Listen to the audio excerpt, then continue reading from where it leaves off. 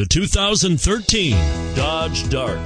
The Dodge Dart was introduced as a lower priced, shorter wheelbase, full size Dodge in 1960 and 1961, became a midsize car for 1962, and finally was a compact from 1963 to 1976. Chrysler had previously applied the Dart name to the Ghia built show car in 1956 and is priced below $25,000. This vehicle has less than 100 miles. Here are some of this vehicle's great options traction control, anti lock braking system, stability control, air conditioning, power steering, adjustable steering wheel, floor mats, four wheel disc brakes, keyless entry, cruise control Come see the car for yourself.